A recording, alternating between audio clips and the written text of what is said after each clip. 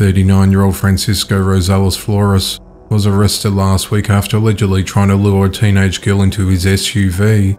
The incident occurred at around 12:30 p.m. on the 30th of October when a 13-year-old girl was walking along Pitney Lane near Daniel Court in Jackson, New Jersey, when she noticed the man drive past her and slow down to talk to her.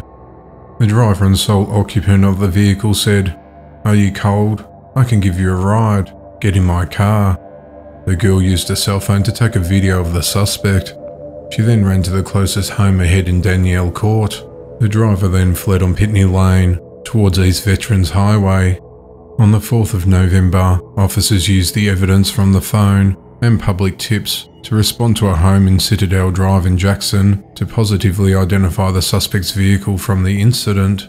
The authorities then identified 39 year old Francisco Rosales Flores as a suspect as reported by the child. Francisco was arrested and is held in custody at the Ocean County Jail. He's been charged with luring. A man is accused of killing his roommate just over an hour after the police showed up to their apartment to de-escalate a fight between the two men. It all began at around 10:33 p.m. on the 5th of November inside an apartment located at 21 Hitchman Avenue in Wayne, New Jersey. Officers responded to the address on reports of a domestic dispute where two men, 38 year old Frank Rance and 60 year old Frank Majuri, were fighting, but the officers stopped the fight and left the premises. At around 11:40 p.m., the authorities received another report at the same address, this time of an unresponsive man. When officers arrived, they found Majuri on the floor of the apartment not breathing. They tried applying life-saving measures, but despite their best efforts, he was pronounced dead at the scene just after midnight. The authorities say that Rance strangled Majuri during the altercation. It's unknown, however, what triggered the dispute. Rance was arrested and has been charged with murder.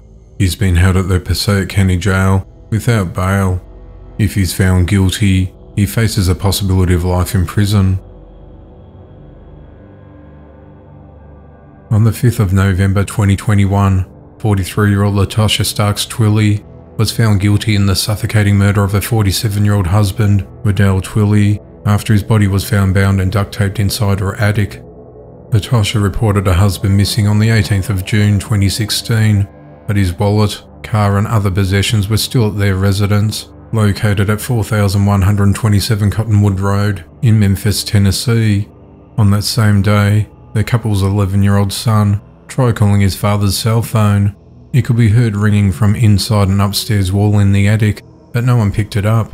He then rushed over to his next door neighbour's house crying and told the woman that he believes his mother killed his father, and police were contacted.